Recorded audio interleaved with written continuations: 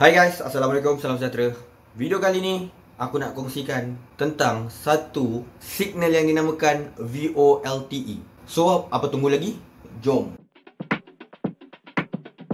Okay guys, korang perasan tak VOLTE ni kat mana? Ah, kalau korang pakai handphone kat atas tu Dia duduk-duduk kat kawasan 3G, kawasan 4G, LTE LTE, Long Term Evolution Ha, LTE dengan 4G ni senang cakap dia macam adik-beradik lah. Jadi kalau nampak LTE tu tak payah pening-pening. Anggap aja sama dengan 4G. Walaupun ianya tak sama. Dan kemudian ada sesetengah phone bila korang pakai sesetengah SIM card tu ada VOLTE. Merupakan ringkasan daripada Voice over Long Term Evolution. Okay, now aku nak kongsi empat perkara tentang VOLTE. Nombor satu, ada VOLTE ni bermakna korang boleh buat call secara serentak dengan menggunakan data. Maksudnya bila korang call VOLTE tu menggunakan VOLTE, korang boleh still browsing internet.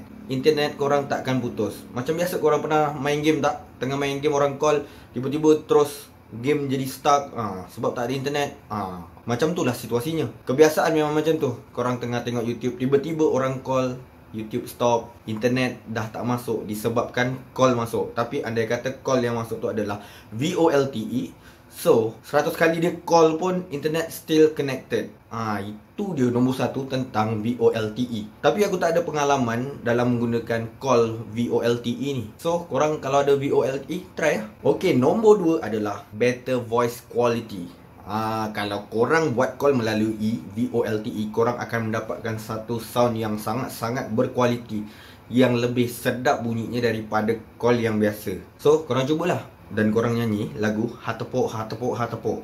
Sedap ke tak sedap? Komen kat bawah. Ok nombor tiga adalah No increase in voice charge. Ok untuk part ni aku tak ada pengalaman. Dinyatakan kalau korang buat call melalui VOLTE, korang tak kena cas seperti call biasa. Kadang-kadang mungkin dia nak bagi tahu yang ada pengguna yang tak faham sekiranya kalau korang menggunakan VOLTE ni korang tak kena cas seperti call biasa macam video call pada zaman-zaman 3G dulu. Ha ini aku kurang jelas dan aku kurang faham. Dan andai kata korang ada pengalaman dengan menggunakan VOLTE call, Aku harap korang boleh kongsikan di komen di bawah Aku akan pin komen tu. Tapi tolonglah kongsi betul-betul fakta okay? Jangan auta Dan nombor empat adalah Tak semua handphone support VOLTE Ya Betul. Aku tak tipu. Pada beberapa tahun lepas Lebih kurang 4 hingga 3 tahun Aku ada menggunakan dua device iaitu iPhone 6 dan Samsung Galaxy S8 Dan dua model phone ni aku dah masuk satu SIM card yang ada VOLTE yang support VOLTE iaitu SIM card ES4G. Dan apabila aku masukkan SIM card tu, iPhone 6 tak boleh pakai, tapi Samsung Galaxy S8 boleh pakai. Jadi kat situ korang kena kenal pasti handphone-handphone yang support VOLTE call dan juga selain tu SIM card korang kena tahu yang SIM card tu support VOLTE. Okay so guys, itu sahaja perkongsian aku tentang VOLTE Sebenarnya VOLTE ni dah lama juga Cuma tak perasan lah. Actually perasan tu perasan Tapi orang ingat itu cuma Orang kata sama dengan 3G, 4G Line, sekadar line sahaja kan tapi aku sendiri tak guna VOLTE punya function tu. Walaupun aku gunakan SIM card ada VOLTE Handphone yang support aku nampak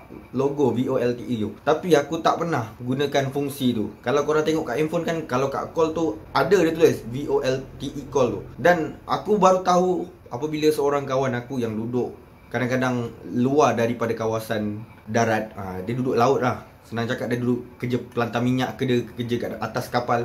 Bila dia balik ke darat dia jumpa aku dia tanya tentang VOLTE jadi aku cakap apa benda VOLTE ni? Aku tanya orang lah aku tak tahu. Aku tak pernah nak belajar tentang VOLTE tu. Kepada korang yang dah gunakan fungsi-fungsi VOLTE ni apa kata korang kongsikan di komen di bawah? Kongsikan fakta serta pengalaman. So dengan itu aku boleh pinkan komen tu dan sebagai sharing kepada semua orang biar semua orang tahu ini ilmu yang bermanfaat. Bukan benda sia-sia. Bukan gosip murahan tau. Ini bukan pick up line yang tak berfaedah tu So guys, kongsikan di ruangan komen. Consider to subscribe, like kalau suka, share kalau berguna. See you guys on my next video. Bye.